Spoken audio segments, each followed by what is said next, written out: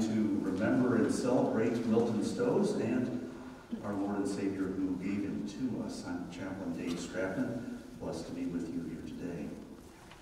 We begin. We've been claimed through holy baptism in the name of the Father, and of the Son, and of the Holy Spirit. Amen. Our opening hymn today, Lord, take my hand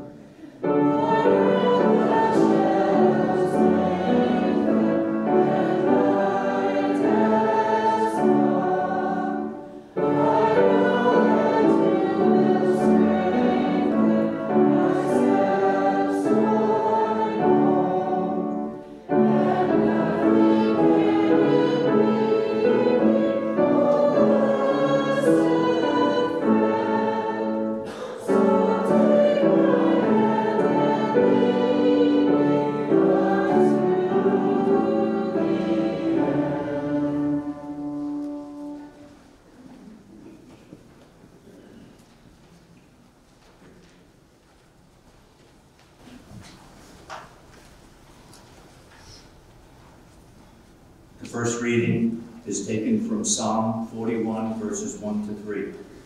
Happy are those who are concerned for the poor. The Lord will help them when they are in trouble. The Lord will protect them and preserve their lives.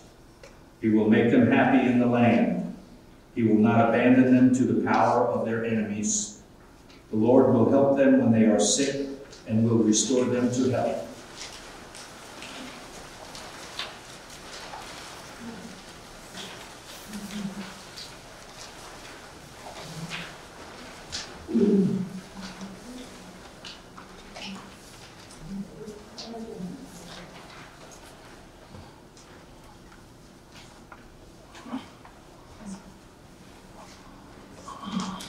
As you can see in the bulletin,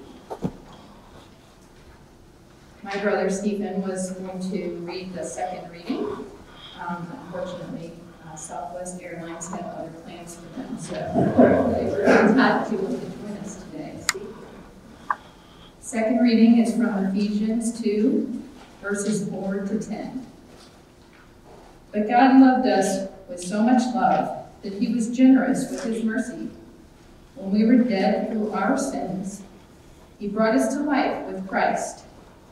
It is through grace that you have been saved, and raised us up with him, and gave us a place with him in heaven, in Christ Jesus. This was to show for all ages to come, through his goodness towards us in Christ Jesus, how infinitely rich he is in grace.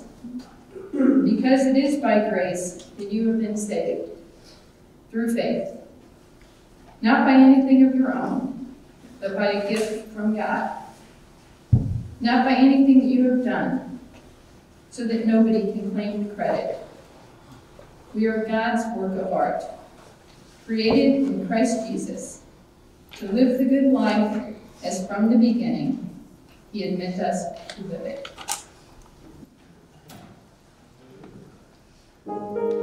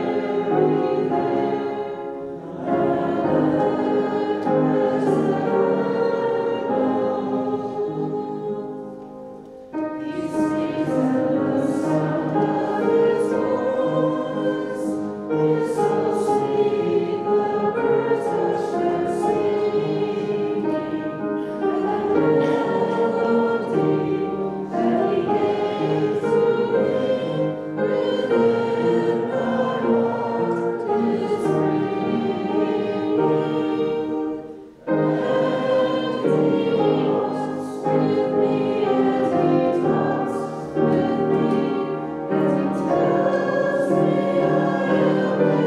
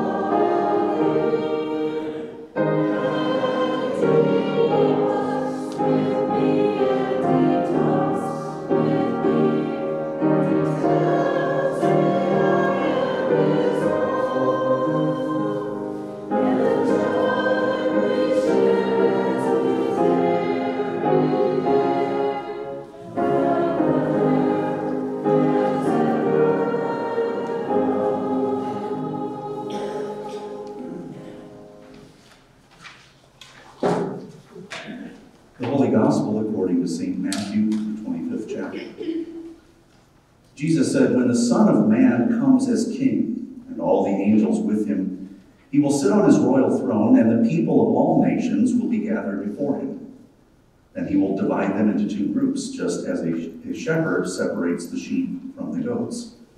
He will put the righteous people at his right and the others at his left. Then the king will say to the people on his right, Come, you that are blessed by my Father, come and possess the kingdom which has been prepared for you ever since the creation of the world. I was hungry, and you fed me. Thirsty, and you gave me a drink. I was a stranger, and you received me in your homes. Naked, and you clothed me. I was sick, and you took care of me. In prison, and you visited me. The righteous will then answer him, When, Lord, did we ever see you hungry and feed you, or thirsty, or give you a drink? When did we ever see you a stranger and welcome you into our homes, or naked and clothe you? When did we ever see you sick or in prison and visit you? The king will reply, I tell you, whenever you did this for one of the least important of these followers of mine, you did it for me. This is the gospel of our Lord. Thanks be to God. Our hymn, Let All Who Captive Lie in Chains of Any Kind.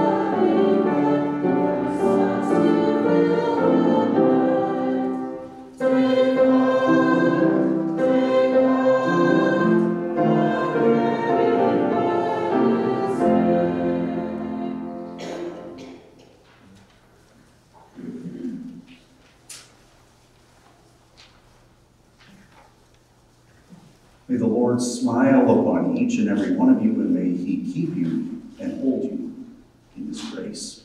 Amen. Thanks be to God for the gift of Milton Edward Stohs, because I'm guessing that practically everyone in this sanctuary has been blessed in some way, some shape or form by Milton. He was used of God to touch so many lives, devoted husband 70 years, committed father, faithful parish pastor, steadfast chaplain to the poor and confined, the elderly, the brokenhearted, inmates' families, the forgotten. Dedicated servant with the Lutheran Mission Association, caring neighbor here at Breeze Park.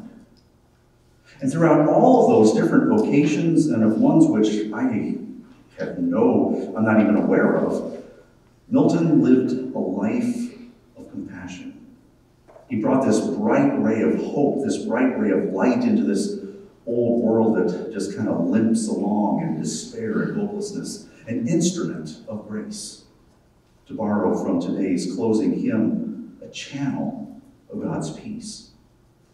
Now, is that to say that Milton never missed a beat or that he never sinned? Well, of course not. Like each and every one of us, he had his own particular shortcomings, his own regrets and sins. We all do. We all need the forgiveness of Jesus, and Milton understood that. He understood that it is by grace we have been saved through faith, not by anything of our own, but by a gift from God. As our epistle said, Milton knew that we could never rightfully claim. And yet, at the same time, our Lord certainly got a lot of mileage out of him. He certainly utilized his redeemed child in a powerful and, yes, beautiful way. As Milton cared for his family, as he worked toward justice, as he tended his flocks, there was this characteristic that stood out, at least stood out to me, and I'm sure some of you. The way in which he cared and worked and tended. What distinguished him from many, many people is the manner in which he did what he did. It was with dignity towards people for just a moment kind of consider how it's possible to do things like serving and working, and tending for others, but to carry out those functions apart from a sense of mercy, apart from dignity, apart from heartfelt agape love. I mean, clearly a person could outwardly perform those kind of beneficial acts without caring from the inside out not to offend anyone, but to make a comparison, perhaps it might be like a physician who, who demonstrates great technical skill, great clinical skill, and, and, and, but doesn't feel any empathy, no, no compassion towards human beings who hurt. So it is possible to carry out, call it needful functions, but neglecting the heart and the soul of the person they're attempting to help. But Milton did both both. He, he provided care for people while caring about people. And friends, that kind of agape, loving care, it only comes from one place. It only comes from Father, Son, and Holy Spirit. It's demonstrated through our Lord Jesus Christ. But I suspect that Milton did more than merely imitate Jesus. Please don't misunderstand. Of course, Milton followed the example of Christ. But for Milton, Jesus was more than just an exemplary teacher. So, for instance, if someone were to say, Now, this is the example that Jesus provides us, it's the right way to do things. Now, you just do what Jesus did. That might work for a little while, but it only goes so far. It's only partially effective to have some great role model and then to be told just to act in the same way as the role model. Kind of a limited motivation. For Milton Stohs, Christ was more than an example to follow. He was that, but more than that, Christ was also Milton's Savior, who loved him so much that he died and rose again for him. Listen to this excerpt from Milton's favorite sermon. He was preaching a message back in 1986, and it was based upon today's epistle reading. Milton had been preaching about how we've been saved by God's grace through faith, and how that's a gift of God, not by anything we've done. And then he went on to verse 10. We are God's work of art, created in Christ Jesus to live the good life as from the beginning he had meant us to live it. So, our salvation being more than something we just kind of keep privately to ourselves, more than just kind of strictly benefiting our own eternal destiny, he also understood that our Savior intends our redemption to, to go out, to, to extend out to other human beings. To kind of put it theologically, we've been saved by God's gift of justification in order that we live out faithful lives of God's sanctification. Milton said in his sermon, Through Jesus Christ, God has saved us and made us into his likeness, redeemed children of God. He said it's God's gift to you. For God so loved the world that he gave his only Son, that whoever believes in him should not perish but have eternal life. And he, and he said that's what makes us worthwhile people, children of God, God's work of art. He made the point that, yes, on one hand, we are God's creation, not our own artwork. And then he explained how being God's artwork is now evidenced by our lives, by our actions, not just our theological beliefs. More than a doctrinal truth, but also a way of life.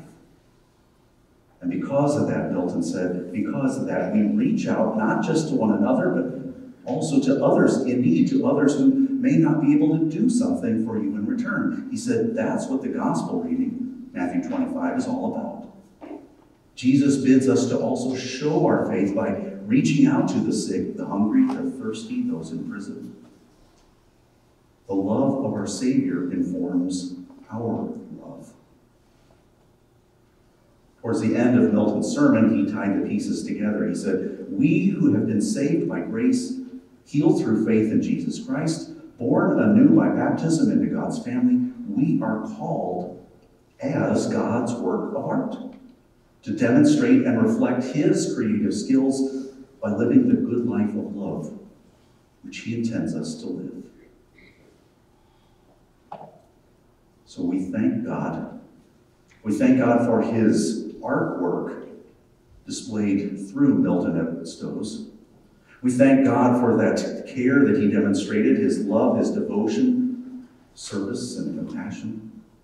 We thank God for the way, the manner in which Milton demonstrated those qualities, all with this wonderful, beautiful sense of dignity.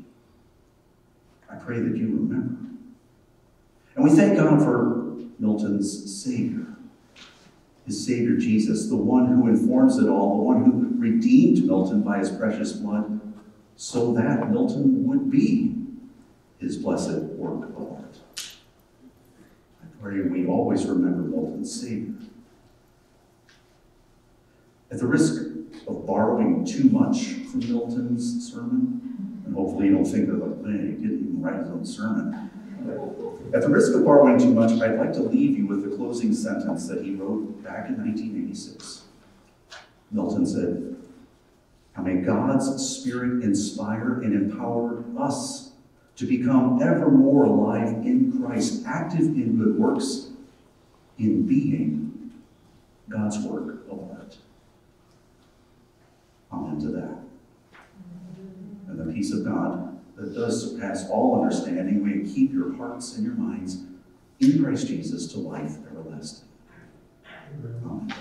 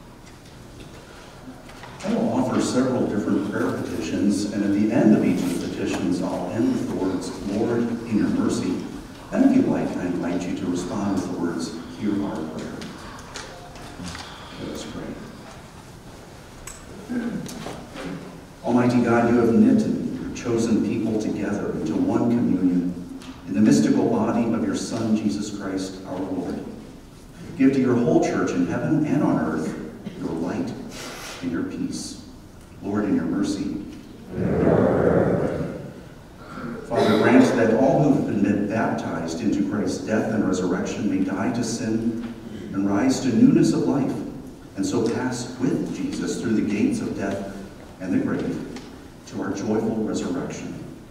Lord, in your mercy. Lord, grant to the family of Milton and to all who mourn comfort through their grief and assure confidence in your loving care that casting all of our sorrow upon you, we may know the consolation of your love. Lord, in your mercy. Father, help us, we pray, in the midst of things which we cannot understand, to believe and find comfort in the communion of saints, the forgiveness of sins, the resurrection of the body, and the life everlasting. Lord, in your mercy. Lord, look graciously upon those who mourn the death of our beloved brother, husband, father, grandfather, great-grandfather, and bring them to a joyous and blessed reunion in heaven. Lord, in your mercy.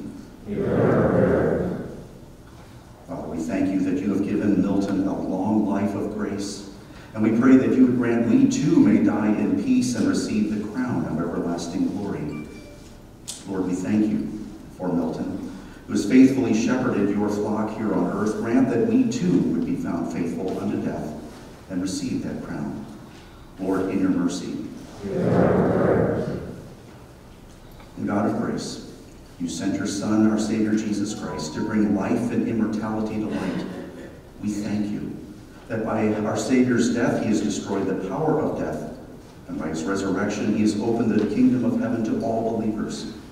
Strengthen us in the confidence that because he lives, we shall live also, that neither death nor life, or things present or things to come, will be able to separate us from your love which is in Christ Jesus our Lord, who lives and reigns with you and the Holy Spirit, one God now and forever. Amen. And we are bold to pray the prayer our, our Savior taught us. Our Father,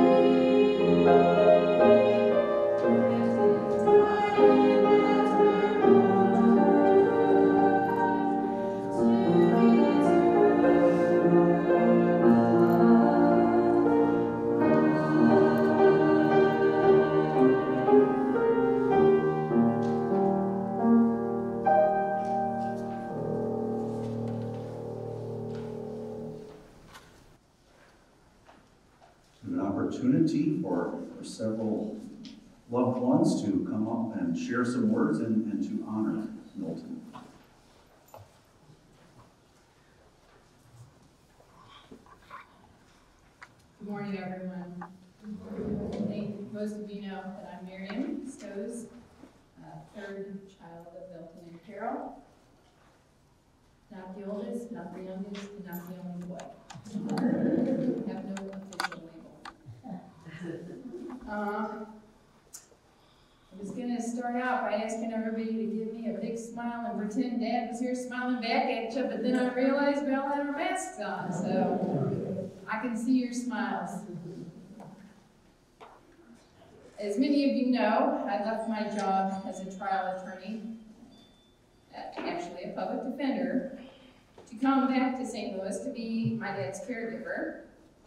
And this is definitely the hardest closing statement I ever had to write. So it did feel like I was writing a closing statement because it was pretty late at night when I was actually doing it. Um, and I will give this my best shot and make it short because as I'm sure you can imagine, I'm pretty tired right now. Uh, hopefully I'll get through without crying, but I do have my Kleenex. I just want to uh, first thank Pastor Dave for his kindness, his support, all of his help with putting this service together and with being our officiant today.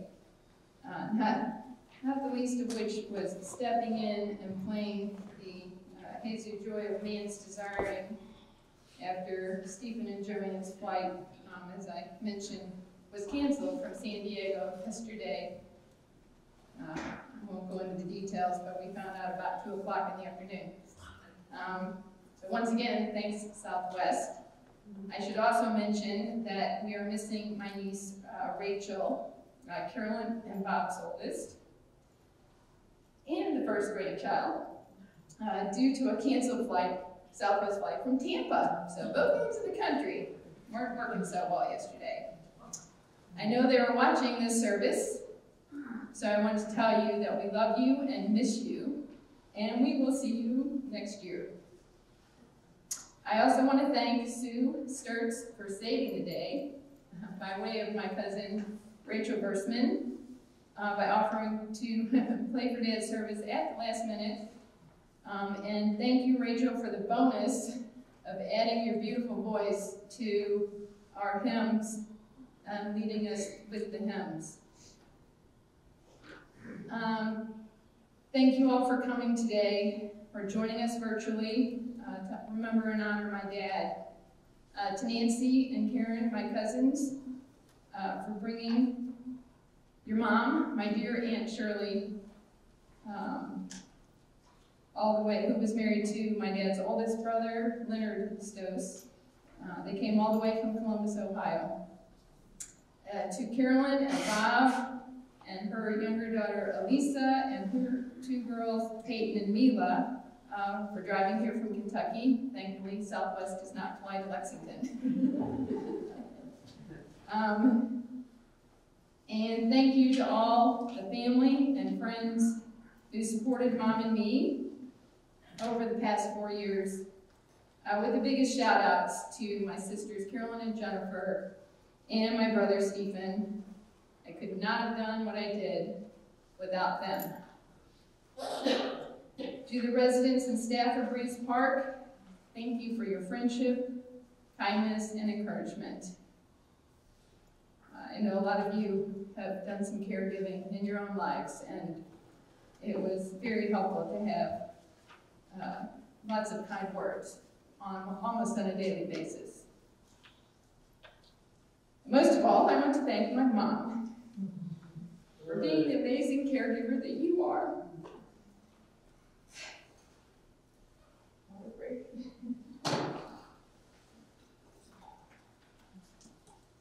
And for being the best co-caregiver I could ever ask for. I'm sure my dad would agree. As most of you know, Dad spent um, the last years of his life battling Parkinson's disease. And no one will ever say that caregiving was the easiest thing they ever did. But it's a whole lot easier when the person you're caring for is, is as loving and gracious as my dad was. Throughout his entire life, he was a compassionate, selfless, empathetic man who always put the feelings and needs of others first, especially when it came to his family. If I had to pick one phrase to describe how he lived his life, it would be, he walked the walk. He was also a lot of fun to hang out with. So anybody who had the pleasure of being at family functions or just being out and about with him knows how much fun he was with his big contagious laugh. I recently watched that amazing World Cup final without him by my side. We had just recently lost him. And I really missed my sports watching buddy. Cardinals, the Blues, tennis, and soccer. I could easily gush about my dad for another hour, but I know he would be mortified by that. So I will end with a quote. Maya Angelou said, People will forget what you said, people will forget what you did, but people will never forget how you made them feel. My dad made everyone around him feel good. And while our lives will never be the same without him, I plan to honor his memory by working a little harder to treat everyone with kindness and respect, by loving my friends and family just a little bit more, and by loving and forgiving myself for my own shortcomings. Because that's how my dad lived his life. So rest in peace, my dear sweet dad. Your memory will live on in our hearts and minds forever. I'm going to turn it over to my older sister, Carolyn.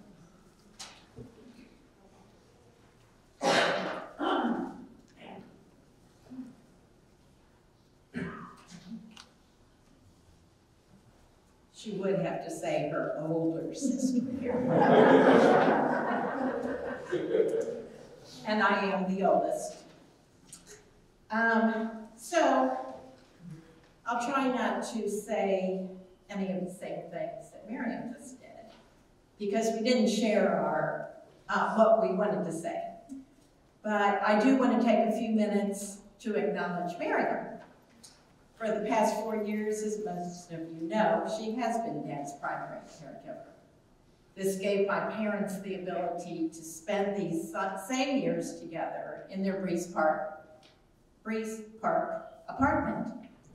Miriam has had a number of careers over her short life and gives 100% of herself.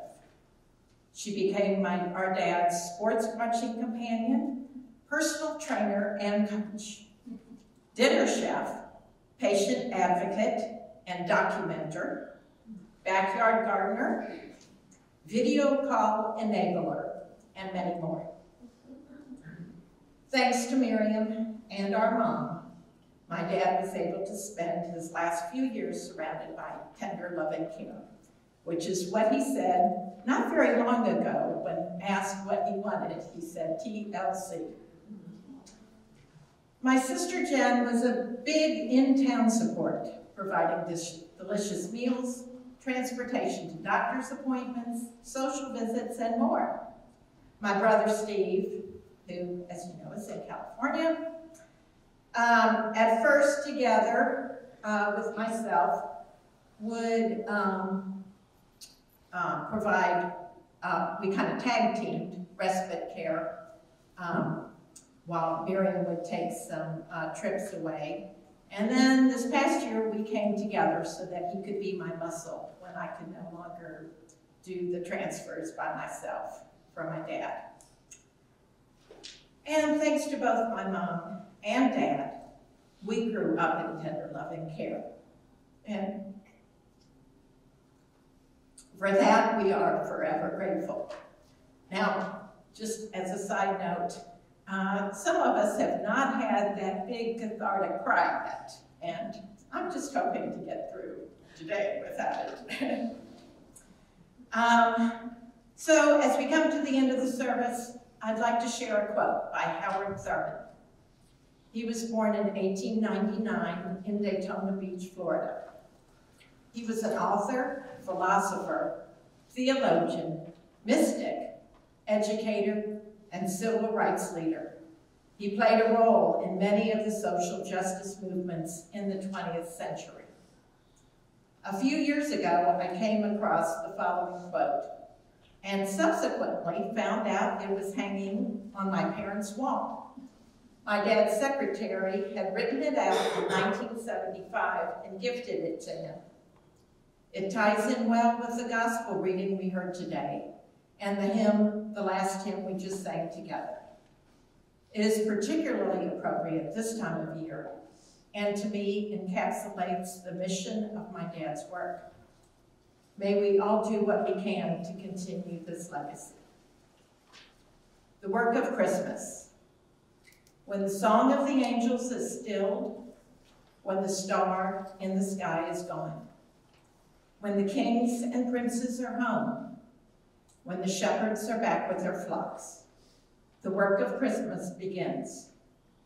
To find the lost, to heal the broken, to feed the hungry, to release the prisoner, to rebuild the nations, to bring peace among the people, to make music in the heart.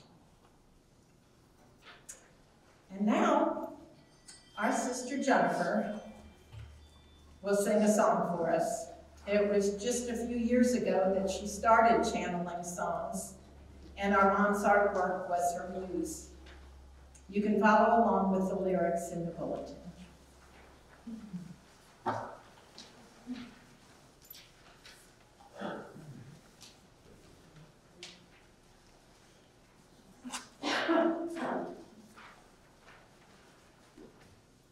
The first time my mom and dad peered into eyes, then I knew love so true, painted in heavenly blue. Skeeters are a home in my mom sang at bedtime intoxicated by her voice, massaging my mind. Love so true,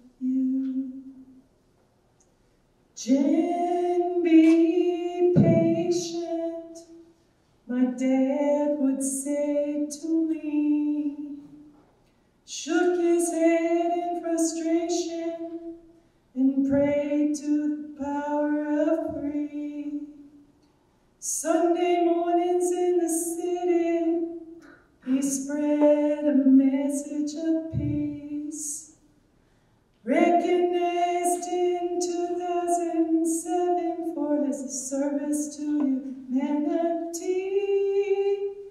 Listened to his sermons, inspired by